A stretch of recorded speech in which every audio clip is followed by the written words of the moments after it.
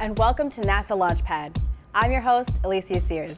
Many of you have seen a shuttle launch, maybe not in person, but at least on TV. But only 355 humans actually experienced the ride from within. And since astronauts don't major in astronaut stuff, these men and women came from a wide variety of backgrounds, careers, and experiences. From pilots and engineers to doctors and scientists to congressmen and teachers, even a former pro athlete and representatives from 16 different countries have flown on the space shuttle. So what was it like? Who better to tell us about the space shuttle experience than someone who took the ride? Here's STS-118 and STS-133 astronaut Al Drew. Dear Lord, please don't let me screw this up.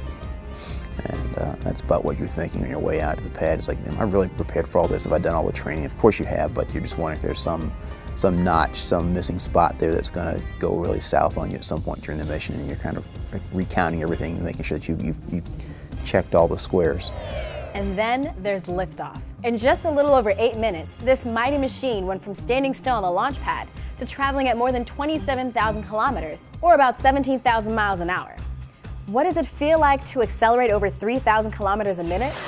Well, the first thing you get is a, is a pretty good, um, like a punch in the gut as you come off the pad, because when those solid rocket motors light, you, you just feel it, and it just shoves you down the seat pretty violently. It's rumbling and shaking. A solid rocket fuel doesn't burn nicely or smoothly.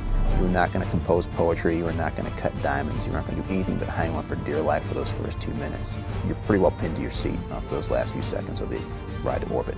Most missions lasted several days, Astronaut schedules were carefully planned, but what did they do during their free time? I never did sit around watching TV or listening to the radio or something or reading magazines. I wasn't, wasn't doing that. The closest I would come to free time is maybe the last 45 minutes of pre-sleep. And you, know, you go find some secluded part of the space station or the orbiter and just press your nose against the glass and watch the Earth go by. Enjoy the fact that you're in space, take it in because you don't really pay a whole lot of attention for the other 16 hours and 15 minutes of the day. After completing a mission, astronauts prepared themselves and the space shuttle for re-entry into Earth's atmosphere.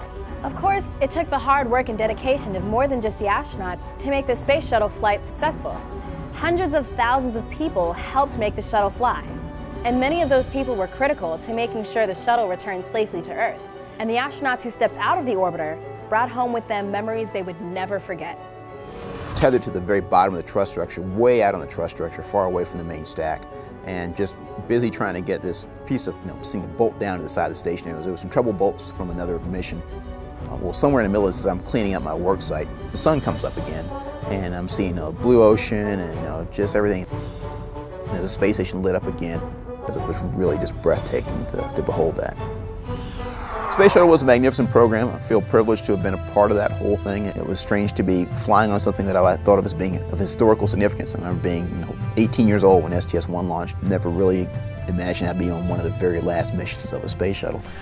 And it's their stories that will inspire us to again head for the stars, continuing our exploration of space. This time to places far beyond the reach of the shuttle. Thanks for watching. I'm Alicia. See you next time on NASA Launchpad.